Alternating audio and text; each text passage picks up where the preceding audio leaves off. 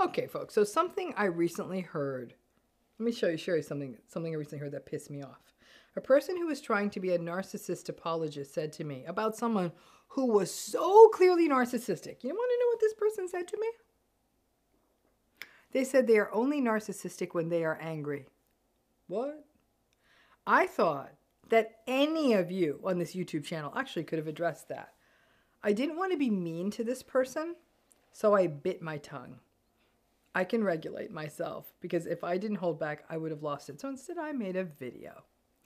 But the issue here is that this is what a lot of people believe. And so then, that the conclusion is that, that this raging, manipulative, reactive person is not narcissistic, but rather they only behave narcissistically when they are angry, which is meant to imply that at times when they are not angry, that they are empathic and they're not entitled and they're not manipulative and they're not gaslighty or victimy or invalidating, and it's not true. What a lot of people don't understand is that narcissistic people are able to put on performative, shallow empathy. I was reminded of this dude who was so helpful with his wife and their kids when there were other people around. He was setting up the stroller and handing kids the rest the snacks, the little snack cups when they were in the restaurant. They happened to be out with a larger group of extended family and friends that they don't see that much. So to everyone with the snacks and the stroller, this guy seemed so attentive. So her friends and her family were even a little dubious of why she seemed frazzled. After all, he was so helpful and people were praising him and he was getting supply. In fact, she was saying how her cousin said, Oh my God, I wish my husband helped me this much. On the way out, he the husband put the things in the car and they got back to their house. And then as soon as they get home, he basically left her, went, went right into the house. He left her to get two kids and a bunch of kid stuff out of the car alone. He was silent and angry the whole car ride home. And when she asked him, he said, I can't believe you have to ask me what's wrong. He said, That's the problem with you. You don't even get it. So now, this poor woman goes from having the world regard her husband to be damned Mary Poppins to enduring the silent treatment on the way home and then being told that she should have some whack ass decoder ring to figure out why he's mad because he wouldn't tell her. Then they pull into the driveway, and as he checks his phone, this poor woman is doing a balancing act of two fussing children and the bags and the strollers and all the damn kid paraphernalia, and he is staring at her contemptuously. Apparently, that oh so empathic guy who was a veritable preschool teacher at the restaurant has disappeared now that there's no longer an audience. But after all, he's only narcissistic when he is angry. The reason most therapists, family members, and people around you do not get the narcissism thing if they have not actually been through it is the back and forth of these relationships. The performative narcissist, who, for example, is the narcissistic person who shows up in the therapist's office with what can even look like insight and say things like, Oh, I know. I sometimes get angry, and I get that she's so busy with the kids. I think they do everything short of tilt their head and put their hand on their cheek. Look at me. I get it. And the person they are telling, including a therapist, if this is one of those situations where the narcissistic person is actually going to therapy or a friend or a colleague who then says, maybe to the wife who was left with all the kid stuff says, You know what? I talked to him. He gets it. He isn't narcissistic. He just gets triggered when they don't when he doesn't feel heard. F you. I have this YouTube channel because I am not a missionary, okay? I am not trying to convert people. I am trying to teach them. And those who don't want to be taught won't be taught. So don't watch the damn channel. But those who don't want to be taught, they just sit there and actually try to disprove the hypothesis. It's a hypothesis, folks, but they try to disprove the hypothesis that someone's narcissistic. But here's the problem This is less about proving that someone is narcissistic than it is about understanding that someone who is narcissistic when they are angry are also narcissistic when they are not.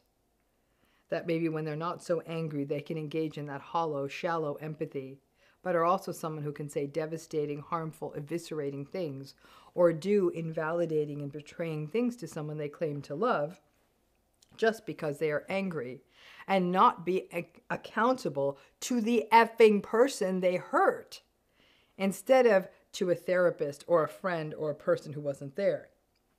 So the narcissistic gets to play hero again. Look at how insightful and sensitive I am. I know I hurt her. That's narcissistic. The hallmark of narcissism is the shape shifting, whether it is from good days to bad or even non abusive days to very abusive days.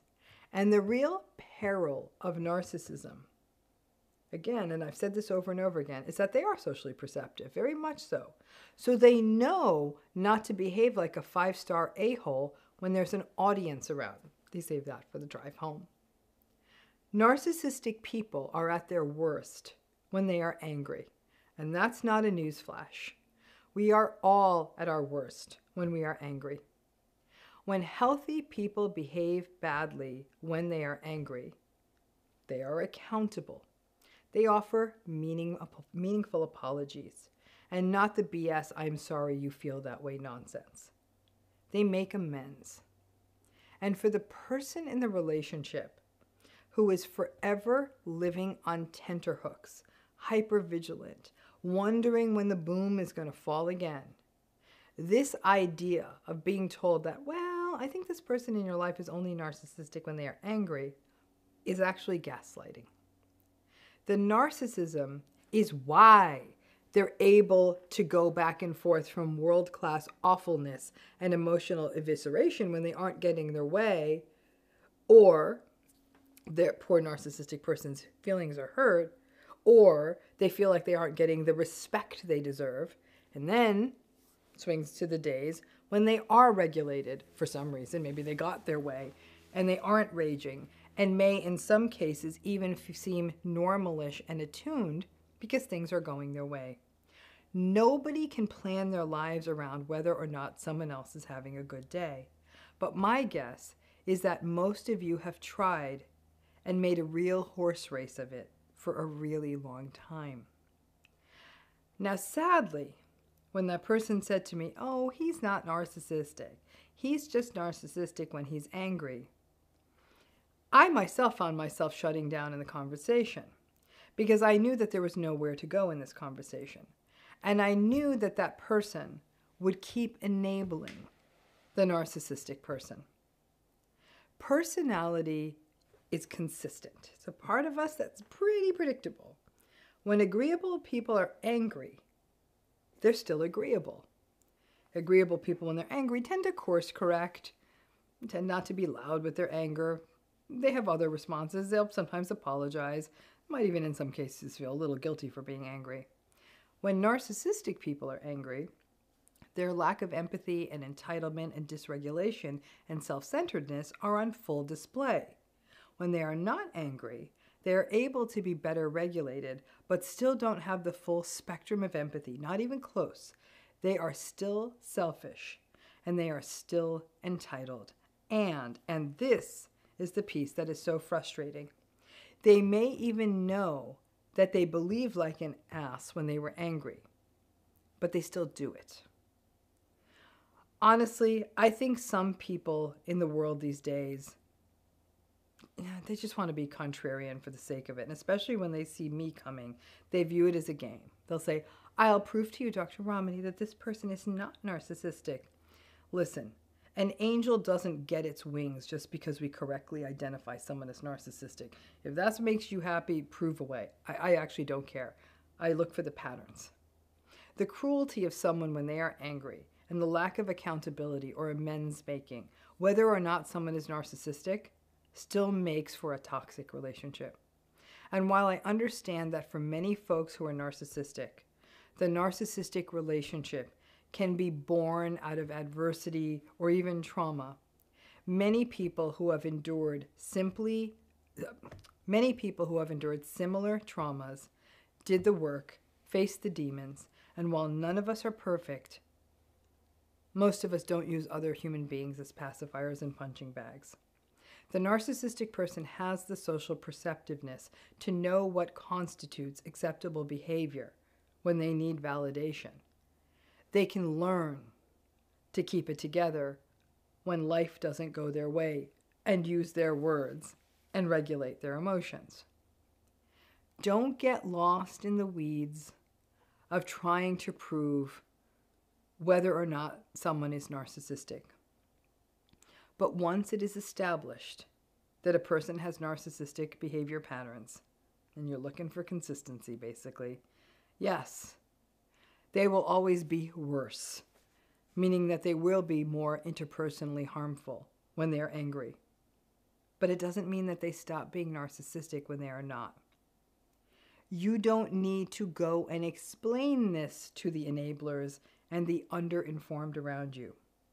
But keep that piece of information in your back pocket so you don't feel crazy. I hope that was helpful, and thanks again.